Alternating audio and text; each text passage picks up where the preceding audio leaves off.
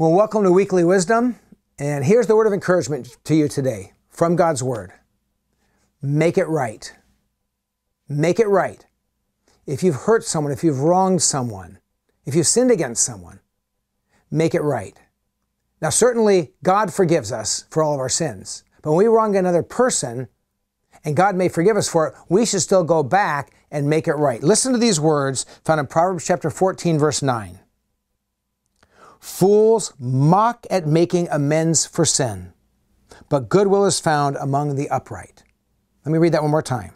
Fools will mock you if you're making amends for sin, but goodwill is found among the upright. So here's some simple truths God is gracious, God is forgiving. When we sin, and often our sin hurts others, but when we sin, we ask God for forgiveness.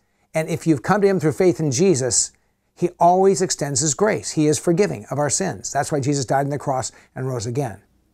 But if we've committed a sin that also hurt another person, part of how we repent or turn away from that is not just confessing to God, but turning from that sin and making things right with the person that we've wronged. And so when we've wronged somebody, it's not enough to apologize to God. We may have to apologize to them for the damage we've done. We may have to actually do something to correct the wrong that was done. And I'll tell a story about that in just a moment here. And then, um, if there's no consequences and no cost, we really haven't made things right. We haven't thought it through. And so, in my own life, I experienced this uh, growing up. I had a buddy named Howie, and Howie and I uh, got into slingshots one summer. I was probably fourth grade, fifth grade. Um, and we got into slingshots. So we made slingshots with uh, wire hangers and rubber bands. And after a while, that got boring. So we went and bought these wooden slingshots and shot rocks. And that was fun for a while. Then that got boring. So then we went and got these things called wrist rockets. These beautiful bended metal with surgical tubing and a little a little catch area. And you could put, uh, and, and, then they sold it with these uh, metal pellets, little ones and then really big ones. And we started shooting them. That you want to have a good time, get into a wrist rocket and shoot stuff that you wouldn't hurt. But after a while, I got bored with shooting at trees and different things. And so we, uh, long story short, over uh, an hour or so, we shot out all the four large windows of our neighbor's house across the street. Uh, it was Howie's next door neighbor. They were across from my house. Uh, we did it from a real distance. We didn't really like these guys. We were dumb kids. We shot out all four windows. Then I went away uh, to work at a friend's house up in Pasadena, a couple hours from our house. And, and while we were up there, I got a call from my dad. And my dad said, We're going to come pick you up. You're coming home we understand that you shot out the Price's windows. And these are the big plate glass ones, up, they're upstairs, big windows. And I knew I was caught. Uh, they picked me up, came home.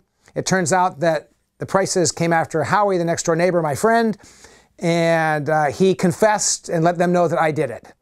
Uh, he had nothing to do with it. He brought out the first wrist rocket, the little one made by Medley, so this wouldn't even break anything. He brought his first slingshot, and he said, uh, you know, "This, this is all I have." He denied having the other ones. And uh, we sat with their family and our family, my parents, Howie's parents, and the Prices, had a long conversation. My friend swore he had never shot at their windows. It wasn't true. And um, so, long story short, I ended up paying for all four windows. The work I had done at this up, up in Pasadena, and all summer long I had to work, and everything I earned and everything I'd saved, and I paid for all four windows. I said to my dad, This isn't fair. Howie did half of it. And my dad said, Well, won't this be a great lesson about making better friends? And uh, but but I had to make restitution. I had to make it right. And I look back now, as a kid, that was hard because it was money I'd saved, it was money I'd earned that week before, and I worked all summer long doing chores, washing cars, um, making macrame uh, bracelets and, and selling them to neighbors. I did whatever I could, and I finally paid off these four large windows. But I made it right. And that's what the passage says here.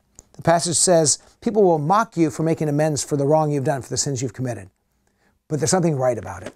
And so if there's an area in your life where you've wronged someone, you've hurt someone, you have to ask for forgiveness. You have to make it right. You have to make restitution.